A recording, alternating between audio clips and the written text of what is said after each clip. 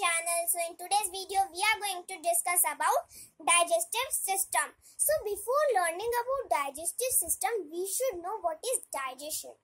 So the process of changing food into simpler form so that it can be easily absorbed by the body is called digestion. The blood takes the broken down food to all of our cells is called digestion. Now let's learn how does our digestive system works. It starts with our mouth. The food is first broken into small pieces by our teeth when we chew it. The saliva mixes well with the food while chewing. This softens the food so that it can be swallowed easily. Now, I have made a digestive system you see here. This. So here it's written digestive system.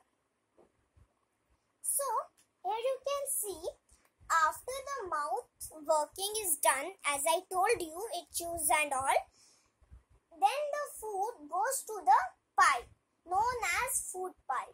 You can also tell it as esophagus. Then after it goes into uh, food pipe or esophagus it reaches in its uh, stomach. Its next destination is stomach.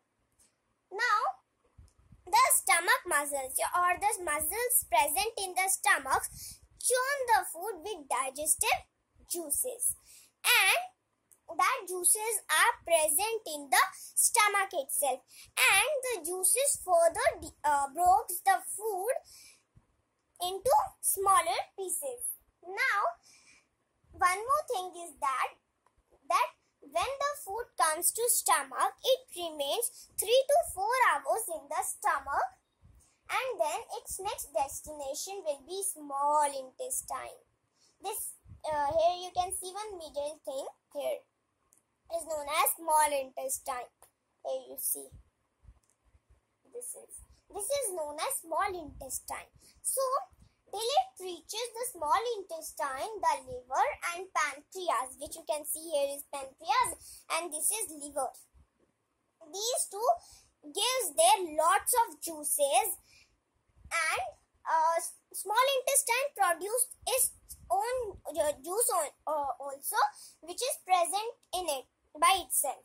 So liver give the bile juice and pancreas give the pancreatic juice. So these juices and the small intestine juices broke the food further. And then the small pieces of food which are very small uh, will be absorbed by the blood. But how? Through the walls of small intestine. Here you can see the dot dot. Yes, little bit dot dot. Let me show you.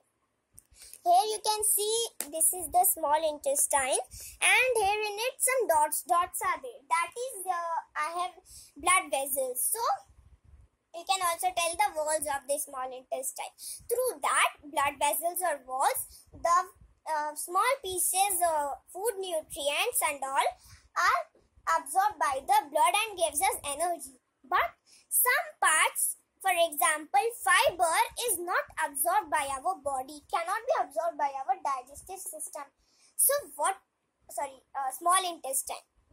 So that food will go in the large intestine. This is the large intestine. See here. The, this is the large intestine. And this large intestine absorbs the uh, so the food which goes to the large intestine is called uh, waste, the waste of the body. So that waste contains lots of juices at from here till here it comes, it takes lots of juices and all. So the juices filled in it, it will be absorbed by the large intestine and the waste comes out from the large intestine through this which is uh, called as anus. You can also call it as rectum. Okay.